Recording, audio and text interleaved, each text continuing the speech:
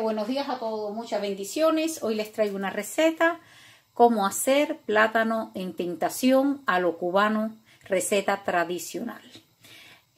Vamos a coger un plátano pintón así, maduro, pero que esté firme, ¿ok?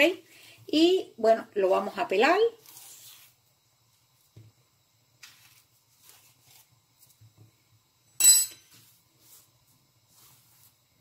Y lo vamos a poner acá. Y lo que vamos a hacer es poner en nuestro plátano los pedacitos de canela. Se lo vamos a introducir así adentro. Más o menos así. Tres pedacitos, cuatro pedacitos. Ahí adentro que después cuando estén lo podemos picar y sacarle la canela. Que no pasa nada. Pero esto le va a dar más sabor aún a nuestro plátano. Eh, nuestra canela dentro ¿Y qué vamos a hacer? Vamos a poner ya nuestra sartén al fuego para empezar a hacer nuestra receta. Vamos a coger, vamos a poner nuestros plátanos. Yo voy a coger dos. Vamos a coger nuestra mantequilla. Vamos a coger nuestro vino seco.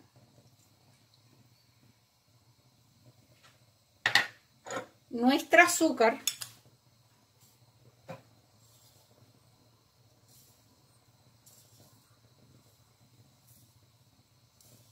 Y esto va a quedar riquísimo. Nuestro plátano en tentación a lo cubano, pero receta tradicional. Vamos a espolvorear nuestros plátanos con canela. Y ya lo que vamos a hacer es encender el fuego. Lo vamos a poner bien bajito lo vamos a tapar hasta que nuestros plátanos estén, lo vamos virando hasta que se haga como eh, un almíbar bien espesita y que el plátano quede completamente dorado. Así que ya regresamos. A la vez que esté así, ¿qué vamos a hacer?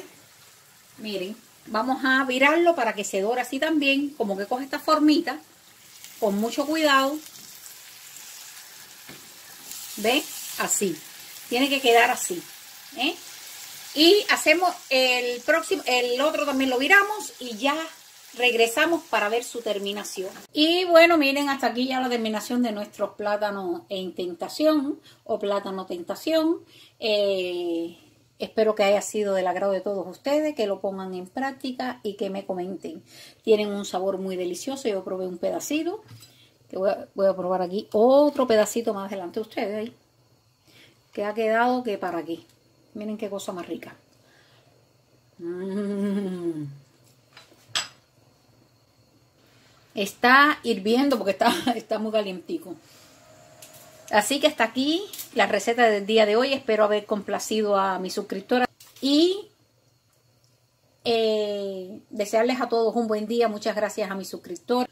Y como siempre digo, si Dios quiere y lo permite, seguiremos en la siguiente receta. Chao, mi gente.